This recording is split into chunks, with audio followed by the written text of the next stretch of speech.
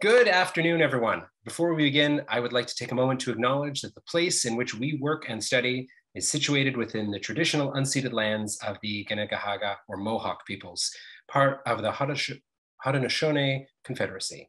There's also a strong historic presence of Anishinaabe peoples in what is now known as the Greater Montreal area. Tiohtià:ke, or Montreal, has also long been and continues to be a gathering place for many First Peoples from all directions.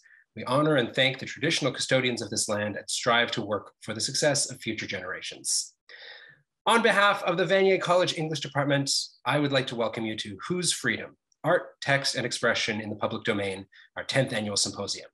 My name is Matt Goldberg. I am the, uh, the chairperson of this year's symposium committee, and I'll also be hosting this event today.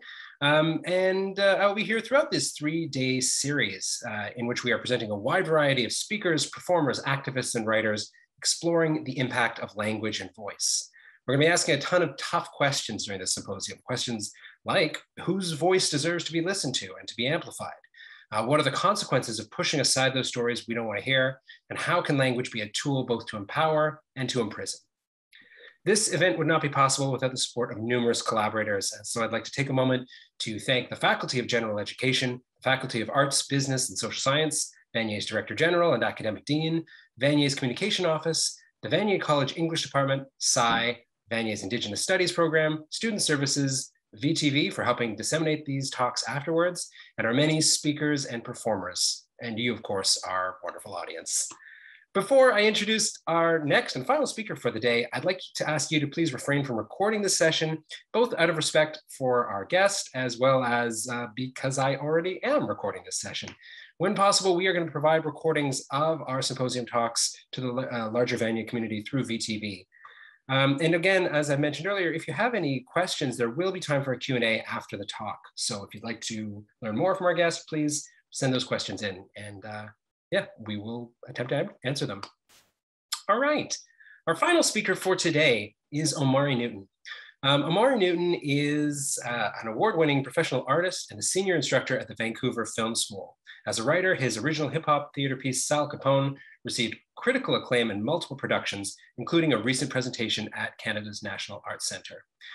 Omari uh, also works as an actor, uh, director, creator, has done all kinds of incredible work. And uh, I'm thrilled he's able to join us here from Vancouver. Uh, one of the small advantages, I guess, of, of having this symposium online. Today, Omari is going to be talking about art as a tool for social change, both to empower the individual and to make shifts and changes within our society. So here to talk about the transformative power of art, please welcome Omari Newton. Thank you so much for the intro, uh, Matt Goldberg. Uh, full disclosure, Matt Goldberg and I have been friends for over 20 years. We went to the same high school and actually started doing theater together. So our the origins of my life as an artist are actually like connected to knowing Matt since Beaconsfield High School is where I got my start. So shout out to Matt uh, Goldberg. Um, yeah, my name is Omari Newton. Uh, my pronouns are he, him, and I am zooming in. Yeah, shout out to BHS, saw Marianne Lynch. Yeah. So I'm zooming in um, from the unceded territory of the Coast Salish people, otherwise known as Vancouver, British Columbia. And, you know, one of my uh, Indigenous friends pointed this out to me, and I think it's something that's important to, to reflect we say these things, we do our land acknowledgments, we say, you know, the unceded territory, but words are important and we get disconnected from the words. Uh, my, my friend told me that unceded means this land that we are on was not lost in a war, it was not uh, signed over in a treaty, it was unceded in the sense that we are quite literally occupying this, this land and took it over. Uh, so I think we should show, show, show a moment of gratitude and empathy for the fact that they haven't kicked our asses off this land because they'd be justified to do so. Thought that'd be important to say. So uh, today we're talking about uh, art as a tool for social change and the transformative power of art. And I guess I'll, I'll sort of talk about my origins of how I got into art and got into being a creative person. Um, the first rhyme I ever wrote, because uh, in addition to being an actor and director, I'm also a slam a slam poet. But the first rhyme I ever wrote was a protest song. I was in the second grade and I wrote a rhyme about uh, recycling. Uh, and I remember as a kid, you know, at the time in the in the 80s, acid rain was the big thing. And I remember hearing about this acid rain thing and how the rain was going to kill our environment so bad for us. And even as a kid, I was really frustrated by hearing about this thing that was, you know, damaging to all of us and nobody seemed to be doing anything about it. And I remember, you know, in my kid brain using kid words, talking to my mom about how frustrating this was and like why nobody would do anything. And to my mom's credit, my mom was one who was like, well, why don't you write something down about it? You know, you like poetry, you like rhymes. Uh, why don't you? Oh, hang on. Someone said, please send. Hang on. Oh, so, oh, send question to the Q&A. There we go. So my my, my mom uh, was the one who suggested to me because she knew that I loved reading and I loved like Dr. Seuss and rhyming books and got into to hip hop at a young age because my my parents. She suggested that I put these thoughts and these frustrations into rhyme. So for me, art, uh, activism, and social change have always been inextricably linked. Uh, partly because of my parents, and I think partly because of the fact that uh, you may have noticed while watching this that I am, in fact, a Black man. Uh, I've been a black man for at least uh, 42 years of my life. Not my whole life, I've been a black man. Uh, but I find as a person of color or a BIPOC person, everything is political in a sense, right? When you're navigating a world where uh, white supremacy is a thing and systemic racism is a thing, everything is political. Just your, your very existence is political. So to me, it always made sense that my art would be political as well what leaned into this uh, heavily, in addition to my parents encouraging me to write this, uh, you know, environmentalist rap when I was a young person, my parents always made a point to expose me at an age when I was probably too young to really fully understand and probably legally watch this stuff, given the, the ratings, to watch amazing works of art by people like Spike Lee. I remember watching Do the Right Thing when I was a really young kid uh, and just being blown away by not just the the artistry and, and the colors and the beauty of, of the film itself that was being made, but the political and social commentary that was being made in this thing that was so entertaining and engaging at the same time as being educational. And uh, Spike Lee films were actually my gateway drug into hip hop music because those of you old enough to remember, and if you, by the way, if you haven't seen Spike Lee's Do the Right Thing, I highly recommend you watch it. It still uh, hits hard today and is still relevant to this day. Uh, but Public Enemy wrote a song called Fight the Power. That was the, the soundtrack to this amazing movie, uh, Do the Right Thing. I remember learning more about Chuck D and Flavor Flav and how they they you know as, as I got older, I appreciated the fact that they they really did try to craft their entire aesthetic like they were superheroes. And the supervillain that they were fighting against was racism and white supremacy, and they were very overt about this. So I think this had a, a profound uh, impact on me as a young artist and helped lead me towards the work that I do today as a playwright and a slam poet. Now, I can and will talk to you about my artistic work more today, but I think to give you guys some context about the type of work I do, sharing some poems with you would be more impactful than be talking about it. So if I may, I'm going to share with you guys a piece called The Brightest Star in Babylon. It's the first piece. And this was inspired by athlete and activist Colin Kaepernick and the stance he took against uh, the NFL. And at the time, that stance really was not popular. And way back in, I think it was like 2016, as part of an annual Black History Month tour that, I, that I've been doing for a decade in schools across uh, Canada, I shared this slam poetry piece with youth as a way of introducing them to this idea of, of people using your platform for resistance and I find poetry and art is a great way to express important themes without boring people. So let me share this first piece with you called The Brightest Star in Babylon. It goes like this. The brightest star in Babylon shone high above them all. He was lauded and applauded for his prowess with the ball. See, he could grip the stitches and toss pigskins across pitches and run a 4 440 for fame, fortune, and riches. See, what was amazing was in his early days, his life was so pathetic, but through athletics, he could get it all and live a life prophetic. He ruled his high school from youth to elementary. The overseer saw that this boy could be exemplary. The system could have missed him. They would feed till the boy was fixed on a path of selling more kicks than Bruce Lee flicks.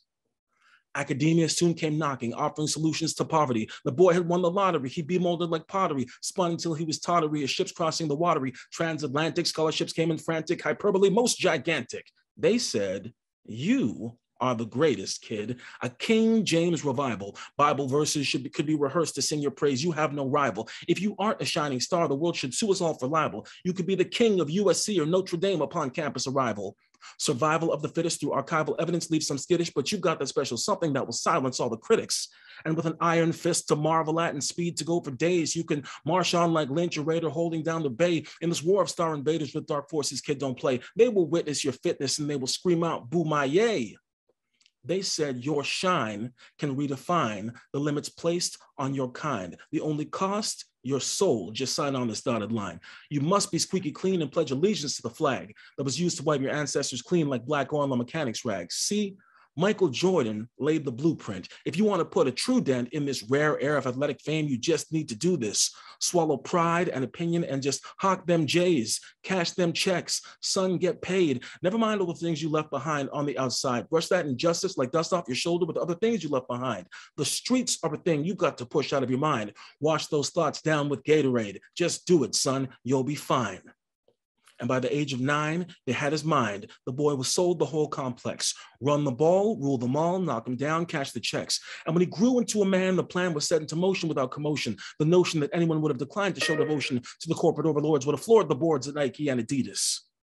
But as the boy was set to fall in line, a message pierced his mind. Rosa parks her spirit near him, tells him, sit down and define how the prophet Muhammad Ali, shunned while in his prime, was less important than the legacy the man could leave behind. Think of Tommie Smith raising black love fists in 1968 with John Carlos and Peter Norman speaking truth against the state. You could live a wealthy man, but you must understand a boy who stands for nothing falls for anything master plans.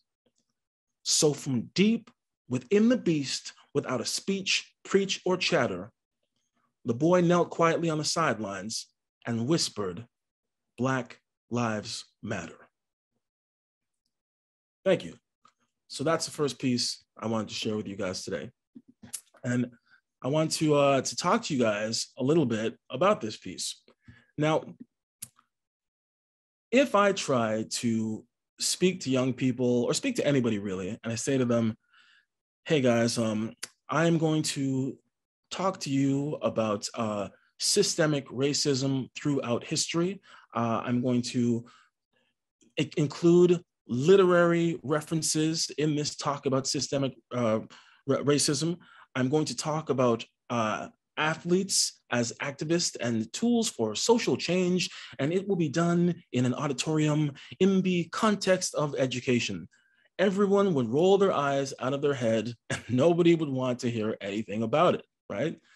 But the amazing transformative power of art, and for me, specifically like urban arts, things like hip hop and spoken word. Thank you. I see people writing uh, nice comments. Thank you very much. And I, I'll stop for a second. People are saying amazing rap, and I'm glad you caught that because to me, as somebody who grew up influenced by hip hop culture, so my earliest heroes, like I told you, were Public Enemy, spoken word and slam poetry to me is just a cappella hip hop because hip hop and and hip hop and, and lyrics in and of themselves have their own rhythm and their own cadence. And I'm glad that you can hear that in the poetry uh, that I spit. So, yeah, the the themes and the imagery and the stuff that I address in that poem would not be uh, palatable to most people if you just did it as a lecture or you sat down, you made people read a book. And I think that is the amazing transformative power of art. And no matter what your artistic medium is, you have this ability to use it as a tool to unpack and address complex issues in a way that people find interesting uh, and engaging. Now, sometimes this is done more abstract. Like if you watch contemporary dancers, I mean, one of the one of the most powerful shows I ever saw in my life was a show called uh, Betroffenheit and this was a dance show and the, the backstory behind this dance show was wild and I, I happen to know the backstory but even if i didn't so this is a real thing that happened. There was a, a couple who took their family camping and uh, they went to sleep uh, in a cabin and their children went to sleep in another cabin and somehow while the parents were sleeping in one cabin and the children were sleeping in the other cabin the cabin the children was in caught on fire and the parents, and I'm sorry, this is, I'll give you guys a trigger warning, this is graphic, but the parents woke up in time to see this cabin burning down. And the, the father uh, tried to open the door as, as it was on fire, got third degree burns on his hand. And, uh, you know, witnesses say that when they, when they showed up on the scene and they saw him, he was still standing there kind of frozen in this moment of trying to reach his children in this burning cabin. Now, the reason why I give you this context is that dance piece, Betroffenheit, was was um, choreographed by this amazing artist named Crystal Pite, uh, and the the main actor in it who's also a dancer, was this guy named Jonathon Young, and he was the father or the parent who watched his children die in this horrific way. And, you know, you could only imagine the levels of pain and suffering and grief that anybody watching when their loved ones die in this way uh, would have. But he'd spoken in interviews about after some time had passed, he used this dance piece, this abstract dance piece that was allowed enabled him to explore this really dark and difficult theme and the grief he was feeling to express it in a way that if you didn't know the backstory, you might not know exactly what it's about, but you knew it was a story about loss and you knew it was a story about a parent's love and about family. And, and to this day, it, it was one of the most affecting pieces I saw. And I'm not a dancer. I don't, you know, I'm not uh, fluent in dance, but it affected me on a visceral level. I mean, of course, if there's fans of music here, you know, I'm sure a lot of you guys have songs that you just hear the first chord of it and it makes you cry. You know, I'm I'm fortunate in that I feel like I have one of the easier mediums in terms of uh, expressing things as a writer and a poet. I can use words to to express uh, complex thoughts and complex feelings I have and mix them together uh, to share poetry with you guys. But this this has always been my go-to when I'm feeling stressed out, and it it really actually art and poetry really helped me get through the pandemic. And actually, the last piece I'll share with you guys today deals explicitly with. Uh, uh, it's called the essential service of art, and I actually did it as a TED talk. You can find it on the TEDx Whistler website, but I can share it with you live here today. But that deals explicitly with how I felt during the pandemic and how I was able to cope with it through art.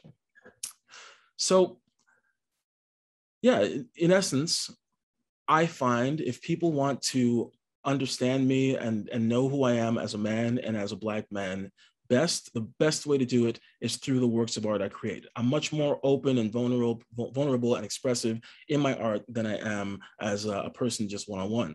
And on that note, I'll share uh, my second poem with you guys. So this poem is, is a different tone. It's kind of a, a funnier one. It's a signature piece because I wrote it 10 years ago and I've been performing it across Canada for a while. But this again unpacks themes of, of racism. And this is about the first time I was called the N word. And the first time really I was confronted with uh, racism as a young child. And it's a piece called uh, Doo Doo Brown. And it goes like this. When I was a young lad playing the sandbox, a boy screamed, N word, your skin is doo doo brown. So I got mad pissed and cocked my fist to deliver a crushing pound. When suddenly, from above me, I heard this frightening sound. It was my mother on the balcony saying, Boy, put your fist down. Sheepishly, I agreed, and unballed my fist, and lowered my head. Then my mom said, Boy, come home right now and make your backside red. Embarrassed and scared, I said a prayer and I hoped no one was looking. I bit my lip, let a final threat slip, and headed for my whooping. My dad said, Boy, you can't punch white people right out in the open. When the police come, you'll be the one they cuff. That ain't no joke. And explain to mom and dad what that boy said to make you vex. And when you explain things to West Indian parents, a beating is always next. I said, Mommy, he called me the N word, said my skin was doo doo brown, acting like this was no place for me and I should leave this town. My mother touched my little head. My father said, Son, listen, you can't use violence every time someone is dissing. Then my folks, they spoke in unison.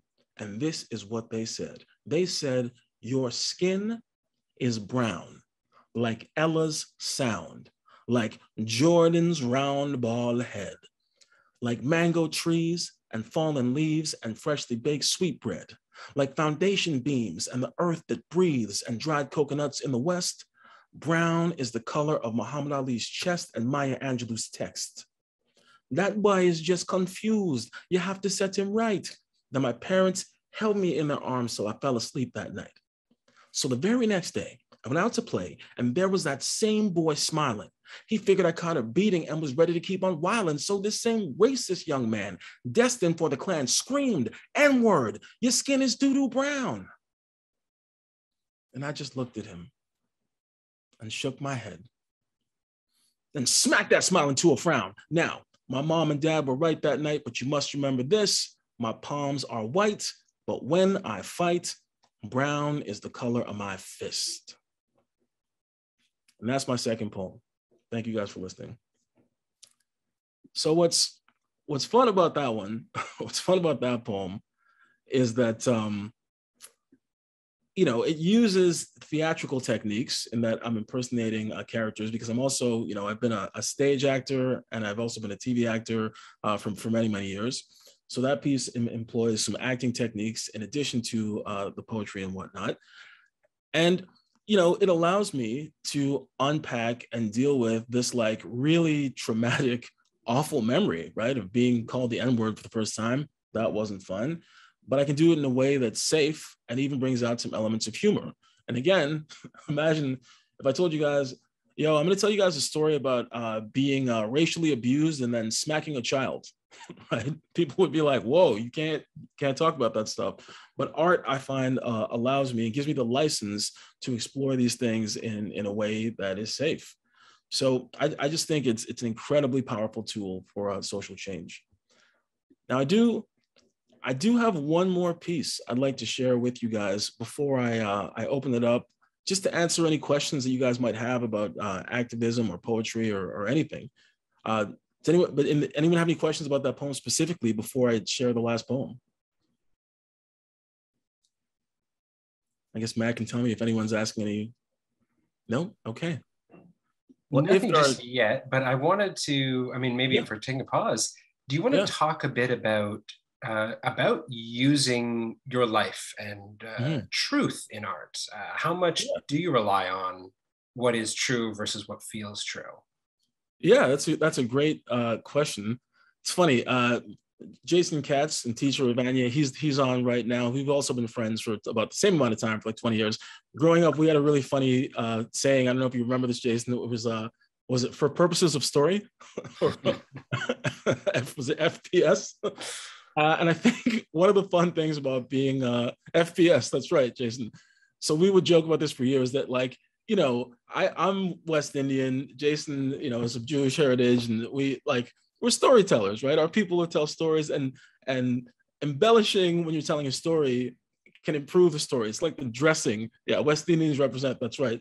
So you know, I just, for whatever reason, grew up around a funny group of, of friends, and it was kind of assumed that we, we didn't, we would never lie, right? You don't make things up, but you you can elaborate on the details of your story for comedic effect or for dramatic effect. And you can you can do it in your regular life but what's amazing as an artist is you have full on license to elaborate things. But just to let you know that story is true. I did have a kid call me the n word when i was when i was young and i did smack the kid despite my parents telling me uh, that i should just like turn the other cheek and be peaceful so there the the core of the story of all my stories is always based in truth and some kind of real emotion but I, I allow myself, uh, for purposes of story, the license to elaborate for comedy or whatnot. That was a good question. We do have another question that came in about this poem and uh, and your discussion of it. Do you think of art then as a defense mechanism, as a way of coping with these difficult personal emotions? I like to think of it as going on the offensive, actually, because a, a defense mechanism, because you, you know, there's nothing inherently wrong with being black, right? And I'm I'm lucky. I, I, had parents who raised me to have a great sense of pride. A defense mechanism would be like, I got something to prove, but I, I operate from the stance of what's wrong with you? Like, what's your beef with with people of color or Muslim people or gay people? Like, I just think it's lame to discriminate against people. So I think it, it is a great way to either disarm people uh, with comedy or to frame a conversation in a way that you think is more intellectually or emotionally honest than might than it might be portrayed in, in mainstream narratives. So yeah, I see it as a way to go on the offensive. Thank you, Omari. I will disappear back into the background now. Oh, it was so nice seeing you. I, you know, so, so, can I can I for a second tell you guys how weird doing this kind of thing is? I can't see any of you, it's like normally when you're doing a, a, a, presentation or speech, you can see the audience. You're like riffing off people. You hear if your if your poems are like landing or popping, and and I, it's like I do a poem, and then I'm just like, like hoping that people are feeling it, but you have no idea. So I your your face on camera was was very welcome, back. Um, if it if it helps, uh, my mic keeps I keep getting the warning that my laughter. Uh, you're muted right now. Do you do you want to take control again? No, no, no, no. Anyway, you're great, Omari. Thank you. No, that's totally fine. I can't remember what was I what was I talking about now. You were about to transition to your third piece. I was going to transition to my third piece. That's right. Okay, so uh, I mentioned to you guys that at the height of the pandemic, art really saved me, and my my being creative saved me. And I'm sure a lot of you guys can relate. Like among the darkest times I've ever experienced in my life was like in the midst of the pandemic when it was already tough, right? Being so afraid about getting sick, so afraid. I mean, I'm in Vancouver right now, as you guys know, and my, my family, I'm from Montreal. I grew up there. Most of my family and my close friends are, are still in Montreal. And I know that you guys were at like the epicenter of, of lockdowns and COVID breakout. And it was just, I, I was just, I, I felt like I couldn't breathe easy until I got like my first vaccine for sure, and then double vax for sure was tough. And then in the middle of this pandemic, as many of you remember, uh, the video of George Floyd went viral. So I was already feeling isolated and depressed and really struggling. And then I see a video of a guy who looks kind of like me getting murdered, straight up murdered on camera, callously, slowly by a police officer. So I went to a really, really dark place. And I'm sure, like many of you guys, while I was at home in self isolation, locked down, I really withdrew into like Netflix and live concert videos. I, I, used to, I mean, I love going to concerts, I love music. And that was one of the things, I mean, and as a professional performer, of course, relying on gathering together and communing together and sharing an experience, that's literally what I do for a living. And before I did that for a living, I was a fan of that. I was a fan of going to concerts. I was a fan of going to theater. And being faced for the first time ever with the prospect of not being able to gather together to watch art, not being able to watch theater, not being able to go to concerts really affected me. So I would I would watch, you know, videos of like whether it's Osheaga in uh, Montreal or Coachella and just watch these performances. And I would binge through Netflix, just like binging through series just to lose myself um, in these worlds as a form of escapism. And it really made me reflect on the status that art and artists often have in mainstream society. And if there's any artists listening right now, hopefully you can relate to, to what I'm saying here. But I remember when I was in school, the general sentiment was if you weren't good at math or science and you weren't going into math or science, you're going to be a bum, you're going to be a loser, you're adding no value to society. Like, why even bother? And as somebody who was always like creatively inclined, my, my favorite subjects were always like English and sociology and drama. I just got a message really early on in my life that those weren't valuable, that those were like second class fields of study. And it used to really upset me and really um, piss me off. And then, you know, counterbalancing that with being at home during this global pandemic and being one of billions or whatever, with just millions of people sitting at home and relying on art to get through stuff, it occurred to me that art truly is an essential service. And I don't mean this in this like corny kind of Tony Robbins uh, way, but I mean quite literally. Just imagine for a second what you would have done without the existence of art during the pandemic when you were forced to stay inside all day. And now keep in mind, this would include uh, video games, this would include music, TV, film. You can't draw anything. Imagine what we as a society or we as people would have done if we did not have artistic works to retreat to. And it just it really fired me up and made me upset as a professional artist, thinking like, well, why do we get such disrespect as an art form? And why does it start so young if clearly during times of crisis people retreat towards the arts as a, a coping mechanism? And around the times i was having these thoughts uh, i was approached uh, by the people at uh, ted talks uh, specifically it was tedx whistler and they, they, they knew about some of the work I did in schools. And I'm also very proud to say that I'm, a, I'm an educator, I'm a teacher, uh, I'm a senior instructor at the Vancouver Film School. So they knew that I was an artist, they knew I was an educator, and they approached me through the Vancouver Film School and they asked if I wanted to do a TED Talk. So when I was asked what I would do a TED Talk about, I was reflecting on this thing of art as a tool for social change and the essential service. And this is what I decided to do something about. And I thought to myself, you know, this thing is going to exist on the internet forever.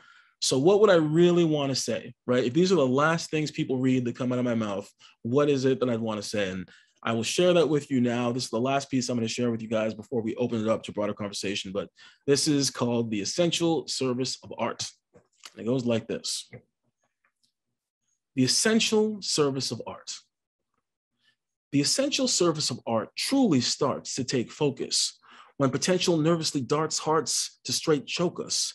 Dark moments of the soul close in, leaving us smothered. Perspective rejected, disconnected from one another. As a child, I was profiled and labeled as deficient. It was wild. I couldn't sit still, seen as insufficient. Teachers tried to put me on pills to keep me still, reacting to my hyperactive nature until I was literally insidiously robbed of a voice. Polyps grew on my vocal cords and left me with little choice to project my thoughts with clarity due to this genetic rarity. All my thoughts within me, I struggled to get by without my teacher's charity. All the thoughts within me strained to just come out. My raspy voice earned me the nickname of horse mouth. It happened soon. I was doomed to be lost in a system that hates to educate those who fate made learn different. Teacher called my parents to a meeting, asked them to listen as they tried to sell them on the bad news, and I was different. My mother, like any other West Indian woman, wouldn't have it. She said, my son can reach for any star in the sky. Don't even try it. Claims of lacking focus are bogus. The boy is just creative. When you move his soul, his mind is fully concentrated.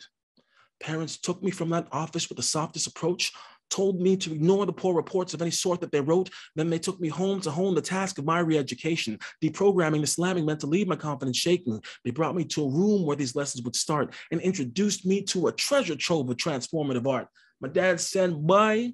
Let me introduce you to Run DMC, LL Cool J, and Public Enemy. Can you hear it? The lyrics of a man named Chuck D. One left on VHS. Can't test the man Spike Lee. You should do the right thing, son, and watch this flick. Absorb the lessons you're getting and lift your spirits up quick. Like Nestle, you best be quick liquid like a jet ski, skipping towards the goal of greatness like a black Gretzky. Number 99 is fine, but son, you were meant to explore your passion and cashing at a rate of 100%. I was empowered to devour anything that fed my soul, and I continued this tradition until I was old and grown, till I hit a wall and stalled, the bottom finally thrown. Instead of freedom through expression, I found my spirit owned the essential service of art truly starts to take focus when sequential elements and stripe life straight choke us, dark moments of the soul close in, leaving us smothered, perspective rejected, disconnected from one another. In a pre-pandemic paradise, I passively practiced my passion with patience, performing perfected text the disconnected eyes vacant. When opportunity knocked, I opened every door to take it, authentically invested and heavily selling out. But it's hard to tell what to sell when all you have are doubts. As a professional actor, I now factored in the voices inside and went out without. True story. I once ungloriously deposited a check that I earned from grinding out a few lines upon a movie set. This check deserved respect because it contained more zeros than two, though less than four. It was way more than I earned before this shoot. I strolled up to my bank with a mean mug like I was rich, popped in my card, punched in my code, and gave my chin an itch. I finally made some dough. My bank would know that I'm the man. My profession, a confession, my profession finally made a couple grand. I placed the check in the machine with a mean mug that was clean as a dapper famous rapper on the cover of the Source magazine. It was all a dream. I used to eat cold little cans of beans, salt and pepper, my only condiments. I'm living lean. And now I'm thinking of a master plan with dozens of hundreds of paper dollars in my hand, slid that envelope in for the win, then bam, my thousand air dreams came crushing with a slam. My bank ranked me with a value low as a rusted dustbin. They froze my cash almost as fast as I had put it in. The reality of corporate interest had derailed my festivities. My first large deposit for art flagged unusual activity. Now, Let's reflect on this stitch. My bank found it weird that a professional artist started to be paid for the first time in years. It appears the system's mission is still to make sure artists are down even when we're up. This mindset is a threat we'll regret if we don't disrupt. The essential service of art truly starts to take focus. When, when sequential elements in strife life straight choke us, dark moments of the soul close in, leaving us smothered, perspective rejected, disconnected from one another as a starving artist, I'm trying to harness all this energy inside and without. but life is difficult when I'm trying to make it through without a doubt. Let me enlighten the frightened many who never had folks like mine and implore you to explore the limits of your creative mind. Maybe you're a nurse heading home from the ICU, feeling drenched in the stench of mounting death surrounding you. And the way to save your day is hitting the bay and sitting at the dock with brother Otis, whose flows just so to free you from your thoughts. Or maybe you serve on the front lines for less than minimum wage, and you can't afford to miss a shift and zoom out from this plague.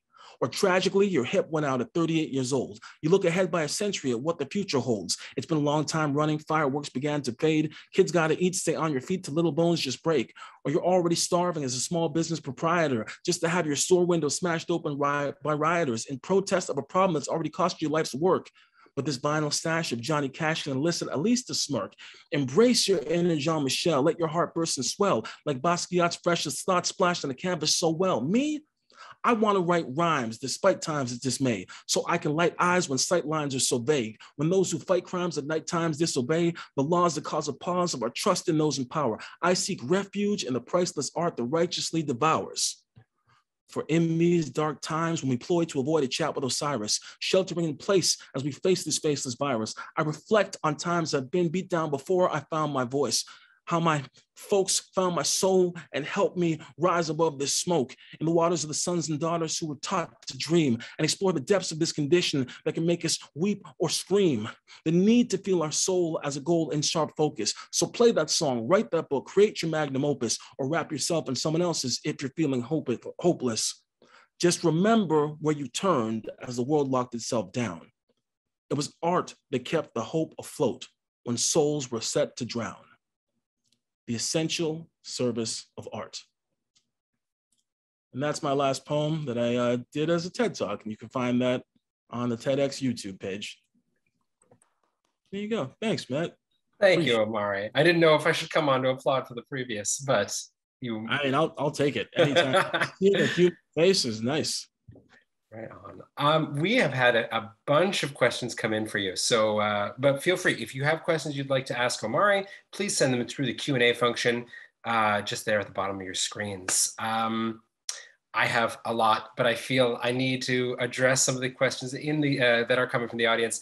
We have a number of questions about your creative process. People mm. who want to know first off how you manage to be creative in this difficult time, but then also about what your process is like, how you move from that initial inspiration through writing, editing, and ultimately performance. What do you do?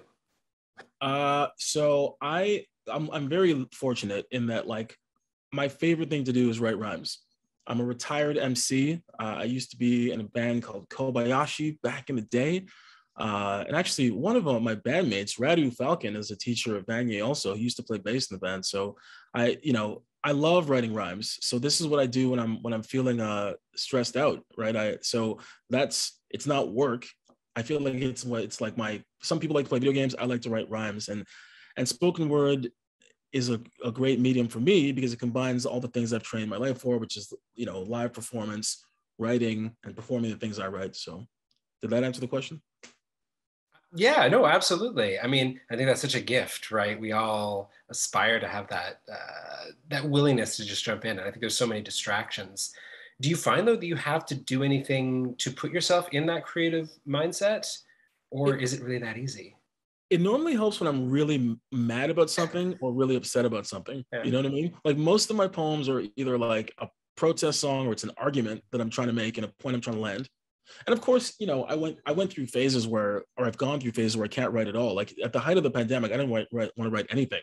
It was so dark that but i think most creative people will tell you the creative process is not just about churning stuff out like you're a machine right? Like soaking in the news and and reading works of art that's part of the process is filling yourself up with this fuel to like you know mold and repurpose back out into the world and how much time i mean i'm sure there's not a single answer to this but moving from the initial inspiration uh, through to the editing are you, are you the kind of performer that needs to get it down and then speak it to find or do you have a lot of an editing process? So it's interesting. This for this other people might find this interesting too. So you know when you watch ted talks you're like why is that like doctor or that dentist such a good public speaker? Right? It's really it's really weird. I learned through this process that TED, the TED Talks have it down to a science now. So for this piece that I did here, I had the initial draft, and then every week leading up to the date of your performance, and because of the because of um COVID, mine was recorded, but usually they're live. But every week leading up to for like a month or for, for sorry for two months, they would have, we'd have Zoom meetings where a panel of awesome people who were they were artists and, and musicians and stuff. I would share the poem with them, and they would make suggestions, and we we collectively would edit it so it would fit the TED format and be appropriate to to the talk. So this process was a very curated one. I mean, playwriting playwriting is just rewriting. playwriting is like I cannot tell you. It takes me five years to write a play, which is a whole other conversation. Um, but generally speaking, poetry I try to do in creative bursts. So I'll just sit down and write a full poem. Like the one about Kaepernick, I think I did in one sitting. That, that is amazing. I mean, uh, that piece is so so sharp. I would have had no idea. Oh, thanks, man. Um, we have a question. It's a tricky question. I'm curious mm-hmm. how you're going to tackle it about the role of aesthetics in activist art. Uh, namely, how important is it for the art to actually be good? I think there's some anxiety that, if we can use these terms, that uh, in this more politically correct time, that the bar has been lowered somehow. I, I wonder how you would respond to that idea and maybe talk about this idea of, of the importance of the message as it relates to the aesthetics of the art, the quality of the art. I mean, I think it's it's vital, right? And I think it's interesting though because good is totally subjective, especially when it comes to things like music or comedy or like there's there's stuff that I think is trash, but it connects with people on a visceral level. But I think so long as the intended audience or or whatever audience is consuming it, if it if it has meaning to them and it moves them, then it's good in their you know in, in their mind it's good. But like if I wrote a poem that was just me kind of pedantically preaching about my my politics in a monotone way and people checked out, I don't think it would be an effective, it wouldn't be effective as a piece of art or activism because it wouldn't move anyone to listen or change. So I think aesthetics are very important, which is, which is, you know, I'm 42 years old. And like I told you guys, I wrote my first law, uh, my first rhyme when I was eight years old.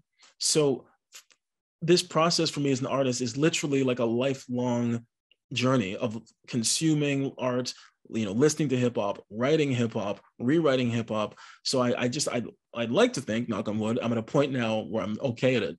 so for me, for me, I like to think the stuff I put out is good. Some better than others, but you know. What about the other work that you consume from other artists? You, you mentioned that one dance piece, but um, what do you seek out as an artist? Other other works that you consume? I seek out passion, I uh, originality. You know, like this is like my my artistic taste, like from music, are uh, so eclectic. Like I I think like Imogen Heap is one of my favorite musicians. I, I, I find she she's always moved me to tears just hearing the way that she uses her voice and loops. You know, I think Radiohead is one of my favorite bands. They're they're incredible. I think uh, Tori Amos is amazing. You know, I, I, listen to these people and and they they really move me. Just the, the way that they're. It's so clear that their voice is connected to their emotion and they're they're conveying things in an honest way. Versus, you know, look, everybody enjoys a good pop song every now and then, but you know, the average pop song you listen to on the radio, and you can tell it's made in a factory somewhere, and there, there's no the the it's it's cultural product. The objective of most pop songs is to get spins on the radio and make money, and there's a big difference, right? You can tell when Radiohead does an album like, you know, OK Computer, they weren't like, we're gonna sell a billion records doing 15 minute songs about isolation, you know. So and then you know, as as an MC, like Kendrick Lamar stuff, I find really incredible. Uh, Tupac, I find incredible. I mean, hip hop, I have a conflicted relationship with hip hop because hip hop is so deeply embedded in misogyny and homophobia that it's it's tough to like, especially as an adult, right? Where you're looking at now. But I appreciate the artistry and I appreciate the the themes of like self determination and empowerment, and sort of have to cringe at some of the cringier stuff they do. Can you do you want to say anything more about that? How how we navigate some of the more more problematic elements of culture that come through? Yeah, I mean, uh, look, I can talk. I can speak to something really topical. I'm sure most of you have been following the the controversy surrounding Dave Chappelle's latest comedy special, right? And that was this is a tough one because I've been a lifelong fan of Chappelle from the Chappelle Show, and as a black man, he often says things that no one else in the mainstream is saying on behalf of black people. But there is it's undoubtable that he said some really shitty, thoughtless things about members of the LGBT community, and in particular the, the trans community. And I think to me, what was most insidious about his last special was the false dichotomy that he laid down. And, and by the way, I don't think he has ill intent.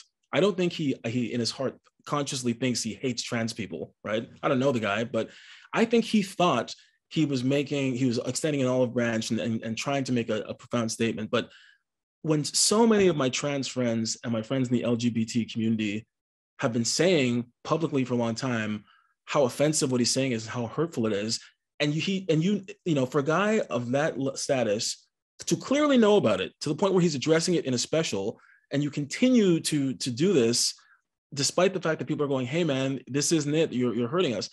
I just think it's it's just really shitty. I think it's like, but I but but at the same time, I can hold two things in my mind simultaneously. I think comedically, Chappelle has done some things that are ingenious, and I think things that he he says on behalf of the Black community are valid, and I think they're beautiful. I think things he said about the trans community are trash. And both of those ideas can exist simultaneously. But the problem I find, we're in a culture now where it's all about uh, drawing sides and, and polarity. There's there's no more nuanced conversation. You can't you can't dissect something from an analytical standpoint or a critical standpoint and say this works, this doesn't work, because as soon as you say anything positive or negative on, on the other side, you are aligned with one of those sides. Like I remember I shared an article by a black queer man called "The Betrayal of Dave, Dave Chappelle" that was condemning Dave Chappelle's special. I shared this on my social media, and, and, and in the heading, I said, look, I understand what he was trying to do in the context of, of comedy. I don't think he should be canceled. I'm not personally offended because I get what he was trying to do, but I think this is a really insightful thing to hear from a member of this community. On my wall, I shared this, and I had people coming to my wall going, you, "You're trash. How? Why are you defending Dave Chappelle?" it's just like I'm I'm sharing an article that's tearing the guy down, right? But this is this is this is a scary thing about art, right? Is that you always expose yourself you always expose yourself whether you're creating art or you're you're championing art in one way or another to to criticism. And i think it all it just comes down to personal integrity and articulating your position clearly. Thank you omari. I, I think you speak to a, a, lot of issues that we in our college community think about a lot. I know i've had complicated conversations about texts we teach in class or conversations we've had after class. Sure. Um, it's it is a very complicated world, and I will say I, I, recently quit Facebook, but I recently I recently I really miss your engagement on social media. You're a very authentic person in that space. Thanks, um, of course. Well, thank you. Can I, yeah. Can I, can I share something quickly about social media? Please do. And I know this is college. I'm talking to a lot of young people, and this is what blows my mind about social media. I don't know if a lot of people understand this. Each of us have our own media network each of us through Facebook and Twitter and Instagram, you have your own Huffington Post or whatever whatever media network you want to call it. And to me, I think you should see your social media as uh, a media uh, conglomerate that you are curating content for. Like so, social media gets a bad rap because people say it's trash and it's just that, but it's like, well, if your social media is trash, then maybe you need to look at your network because Facebook doesn't create content. they they platform people and you can choose whose curated content goes through your feed. So this is a message I just want to send to people is like, you don't treat social media like it's, you know, a dumpster fire and it will not be. Well, it's interesting because I mean, you, you really predicted where I wanted to go with this next question because you are fairly active on social media and putting out some occasionally uh, difficult, complicated perspectives.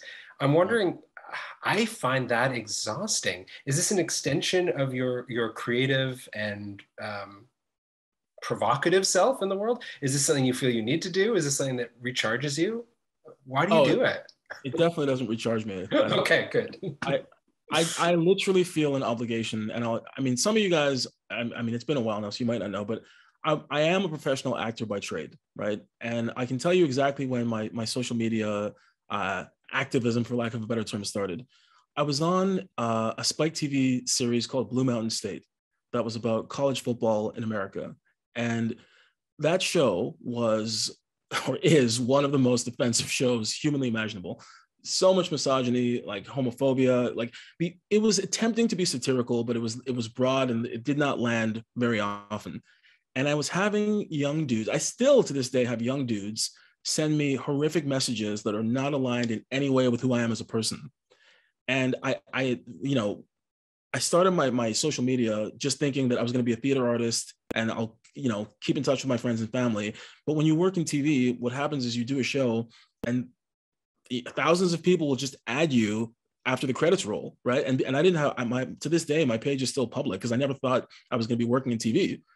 So I realized if I have this platform based on mainstream content that can be somewhat toxic, it is my obligation to use it for something other than, you know, posting selfies and cat videos. Though I do do some of that as well. you must one must really yeah human i have questions coming in about uh, cancel culture and conversations related to where we've gone maybe we'll, maybe we'll do one more and then i'd like to get back talking about creativity and talking about your art um, mm. We've just had a question come in asking, speaking of nuance, what are your thoughts about the idea of cancel culture in general and the state of artistic discourse right now? Look, I, I think by definition, cancel culture is a negative thing, right? But I will also say a lot of people frame being held to account with being canceled. I think canceling someone for something that is uh, egregious is is foul. But I think like I don't know if you're the mayor of a town and you go online and you tweet death to n words or like you tweet like pro Nazi stuff and you lose your job, that's not cancel culture, that's accountability. And I think there's this weird thing where freedom of speech and freedom of choice has never meant absence of accountability. And I don't know where people got this confused, right? So, yeah, cancel culture sucks. And there are, there are instances when people have gotten canceled where I think it's unfair. But most of the time, when I see people getting canceled, it's because they're being held accountable for something horrible they've done. So those are my, t- my that's my take. Thank you.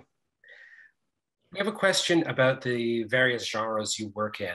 Uh, do you have a preference for one or the for being that TV actor, for being a poet, a writer? Mm-hmm.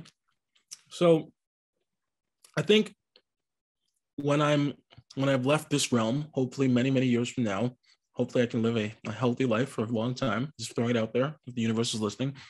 I think the thing that will best represent me is my writing. I think that's the most important work that I do. But I do voices for cartoons, and that's by far the most fun. Uh, anybody are fans of cartoon, I've done the voice of Black Panther since 2012 for different Marvel projects, and I get to do the voice of Corvus on the Netflix show The Dragon Prince. And like, it's li- literally making funny voices for a living and playing make believe. It's the most fun thing ever. You go into the studio with a music stand and you're just playing like who would not love that? So good, so good. Um, we have an attendee asking if you can talk about any of your upcoming projects, things that you're excited about that you're working on. I can. So, uh, for those of you in Montreal, uh, I wrote years, 10 years ago, about I wrote a play called a hip hop theater piece called the, Lament, the Lamentable Tragedy of Sal Capone. It's about police brutality. It was inspired by the shooting of Fredy Villanueva, Villanueva a kid from Montreal North who was shot by police. Um, and it's about they, they were in a hip hop group, and it's about the aftermath of his friends who survived. I was commissioned. Oh, I've written a sequel, and it's going to debut at the Segal Center, uh, the Segal Center in Montreal. In um, it's going to be in February, I think February 24th, and then it goes to the National Arts Center in Ottawa March 15th. So there's that. Uh, season season three of the Dragon Prince will be coming out soon-ish. Uh, if you if you have kids or if you like Marvel stuff, uh, Marvel Superhero Adventures is on Disney XD. You can check that out. And I ju- just yesterday I, I play different voices on Corner Gas, the animated series, but our last episode aired last night, so unfortunately that's no longer happening. But I've, I've been oh, and my and my wife and I co-wrote a play called uh, Redbone Coonhound, which is my wife Amy-Lee Lavoie is also an amazing playwright who went to the National Theatre School in Montreal. We co-wrote a play, and there's going to be an audio version of Redbone Coonhound. It's a satirical comedy about interracial relationships, and that'll be available in a couple months as well. Great. Thank you so much. We have time for a mm-hmm. couple more if anyone wants to send them in. Um, you know, you mentioned before the school tours you've done here in Montreal uh, in February. Do you want to talk a little bit about that work? Yeah. Um, so for over a decade now, it used to be in person, but we've switched to Zoom because the world. Uh, I've had the great privilege of going to schools across Canada and doing Black History Month presentations that focus on Canadian Black history. Because when I was in school with math back in the day at BHS, I remember hearing it's Black History Month. Like teachers would talk about it, but nothing happened. Like there was no, like they didn't change the curriculum, or there was no like they just went it's Black History Month. And I remember as one of the only Black people in the school being like, "Hey, that's super cool. If there's a month about my people, can we can we like have a, a flyer or something like one presentation?" So then uh, my twin sister, I have a twin sister, Akilah Newton, who runs a non-for-profit called Overture with the Arts that provides performing arts training for youth in Montreal. My twin sister and I were basically like, we should do something. And it started at a couple schools in Montreal, uh, Beaconsfield High School being one of the first ones, and has now grown. Last year I did, I think, 105 presentations in five different provinces. Well, it was on Zoom, but we we visited five different provinces. So it's become an annual thing every February, and it's a chance for me to combine. And it, yeah, it combines elements of poetry, theater, spoken word comedy, and just sharing stories about Canadian Black history through a comedic lens.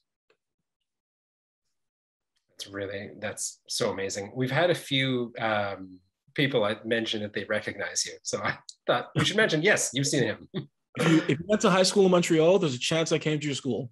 I came to your school and I did some poems, and it's really, it's really. I mean, I feel old, by the way, because what's crazy is now it's like kids who I were in grade seven the first time I met them are probably in this class now. Just insane. Time is terrifying.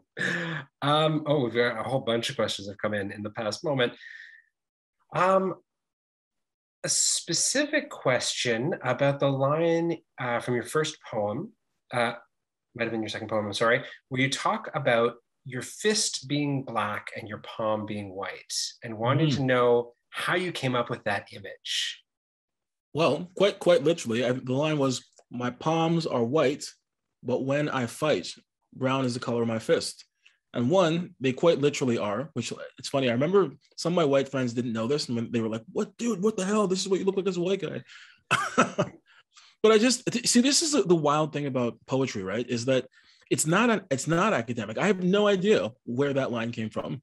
I made the observation that that's what it was, and it, it made for a powerful. I mean, one, as you guys notice, and this is where the theater and the writing comes in.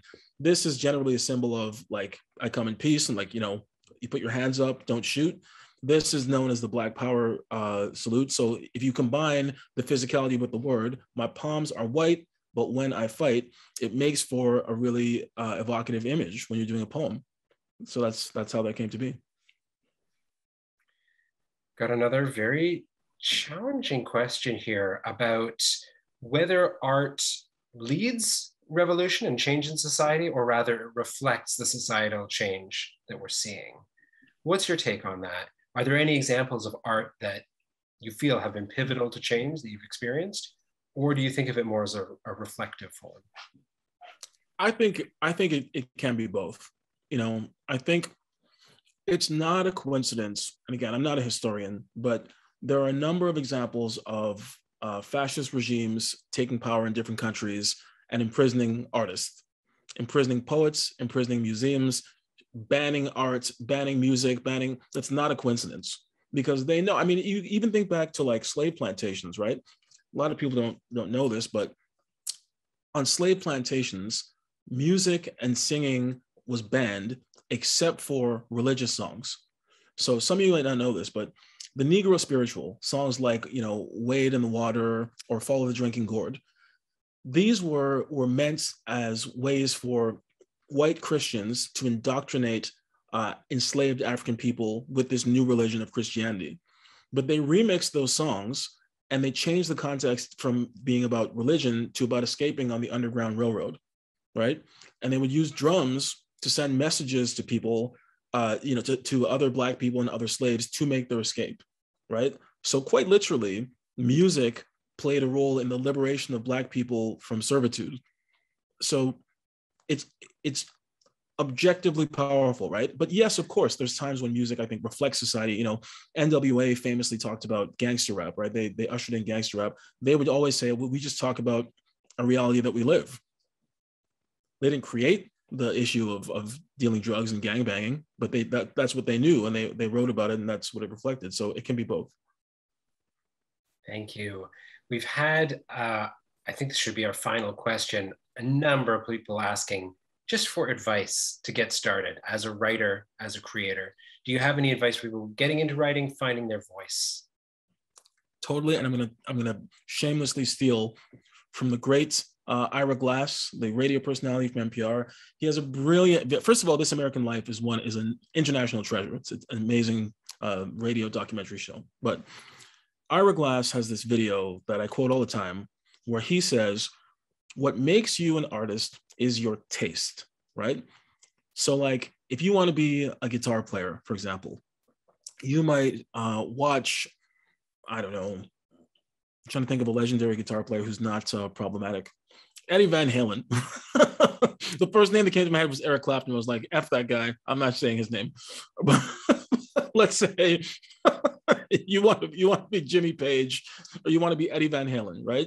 So I know I'm old. I'm, I'm quoting old school guys, Lenny Kravitz, whoever you want, Jack Jack uh, White, these newer peeps. So you see Jack White shredding on a guitar, and you're like, oh my god, that's amazing. I want to do that. And the first time you pick up a, a guitar, you would inevitably suck.